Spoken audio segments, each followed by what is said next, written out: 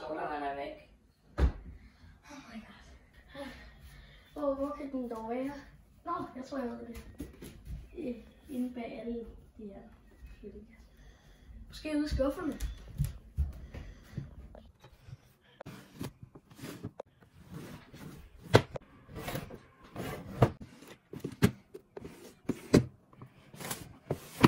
Jamen, altså, hvor kan den så være?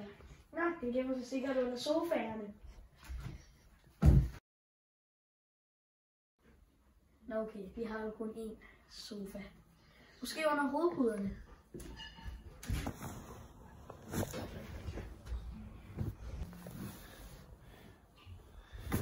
Hmm, så var den under dynerne.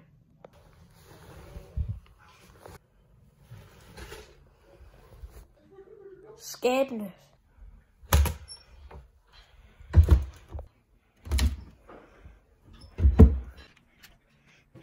Hmm. Kan være.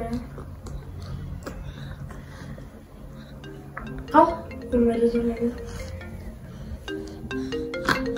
Skjult nummer. Hallo? Hej, jeg ved, hvor din sodavand er. Gør du? Ja, men jeg vil aldrig give dem tilbage. Ha, ha, ha. Åh, oh, jeg skal få min hævn.